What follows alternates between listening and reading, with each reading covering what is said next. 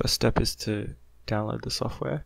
So search for MiKTeX, go to the downloads page, download it. Then search for TeXstudio and download this. Also a useful tool is JabRef. So go and download that one too.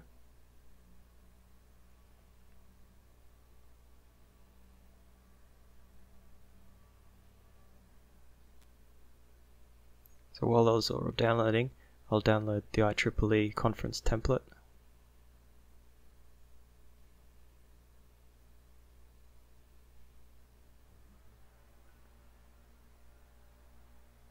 So I'll just install JabRef first because that's downloaded and I'll search for an example bibliography that we can open up with JabRef.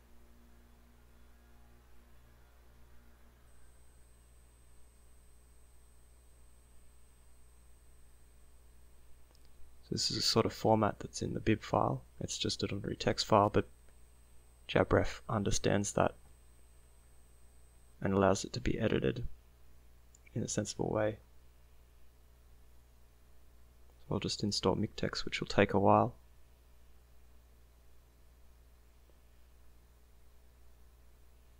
So while that's installing,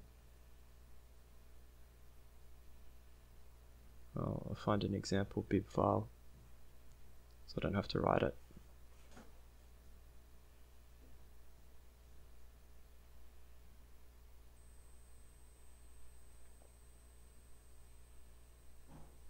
That one's a bit short.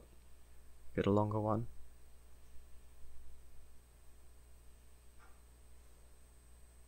So this is what it looks like when it's opened up in JabRef. You can see the names and the authors, title of the paper, the year it was written.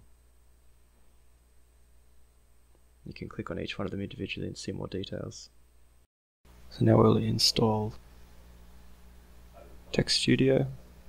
Just in the default location is fine. Okay, now I'll unzip the IEEE template and put the bibliography in there. Also want to get a picture put into the document, so I'll download a picture of the Baxter robot. I'll open up the bare conference.txt file in TeXstudio. I'm going to uncomment a few lines, for example, this one. Let's change the title so that you can do spell check. Right click.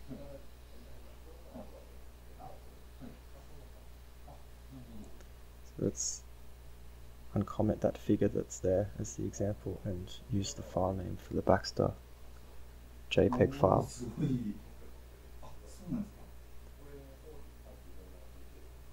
So let's uncomment this table. It's just an example table that's already in the template file.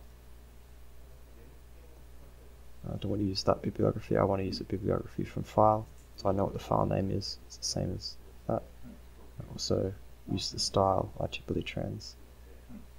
So let's build it. And this is a problem that because the bibliography file was already built once before, so deleted that. So here's an example of putting formulas in line. Use the dollar signs either side of the equation.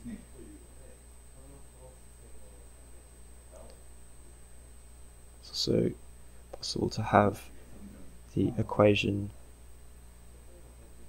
uh, environment, I guess, and then this will automatically number the equations as well. See there's a, a number there. And if we put another one,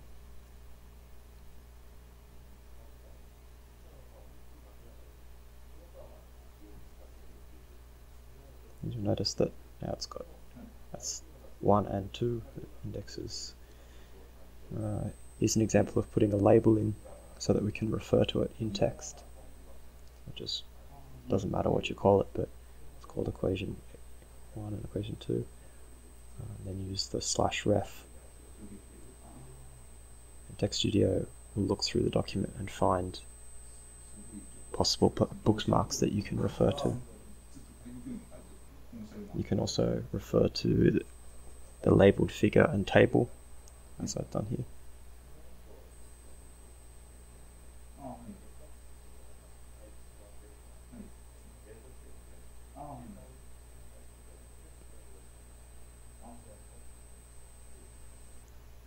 So to show an example of using uh, the bib file, so we can look at citations, include citations. For example, typing slash cite left curly bracket will give you the list of references there and then you can see that in text you get the numbering uh, and also in the reference list at the end you get a numbered and correctly formatted and we can put any number of these any number of times and it will keep track of the numbering correctly. So notice how now we have four references and they're in text. but also that this file that's been built exists in Explorer as a PDF. It can be opened in Acrobat Reader